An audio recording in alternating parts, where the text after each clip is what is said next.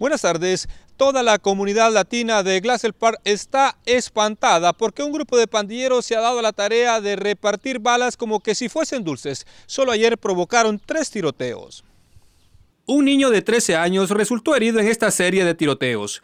De acuerdo a los vecinos, el menor se encontraba a la entrada del estacionamiento de esta vivienda ubicada en el bloque 3300 y la calle Drew, cuando dos sujetos pasaron en un vehículo gritando su afiliación a una pandilla y comenzaron a disparar. Hasta que mi niña escuchó los balazos y yo no, no, no, no me di cuenta hasta que ya miré a las personas que empezaron a salir.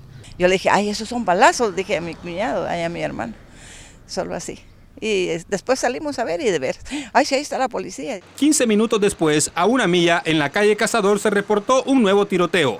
Tres minutos más tarde, los vecinos de la calle Division y Avenida 33 vivieron momentos de pánico al escuchar disparos, pero afortunadamente nadie resultó herido. No me siento muy segura, pero este, porque por cualquier cosa que pueda pasar un inocente sale herido y, y pues uno no sabe. Se me preocupa pues por los niños, más bien por los niños porque ellos están chiquitos. En los alrededores donde ocurrió el primer tiroteo hay símbolos de pandillas y las autoridades tratan de establecer si estos hechos están vinculados. Las autoridades han logrado detener a dos sospechosos, pero la investigación de estos tiroteos continúa abierta. Desde Glacial Park, Carlos Vázquez, Noticias 62, tu ciudad, tu equipo.